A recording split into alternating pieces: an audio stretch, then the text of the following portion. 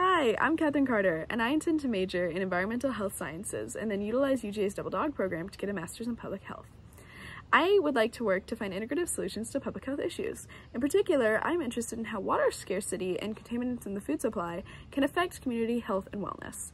I am an alumni of the Georgia Governor's Honors Program with a major in mechanical electrical engineering and a minor in agriculture. Through this program, I explored how technologies in these areas can be utilized to solve public health issues. I would like to further my knowledge and experience in these areas and others so that I may be able to better contribute to solutions in the future. I am also an officer of Wheeler Fresh Collaborative, my school's food pantry club. Through this club, I have directly impacted local public health by providing healthy, safe, and accessible meals to those who need it.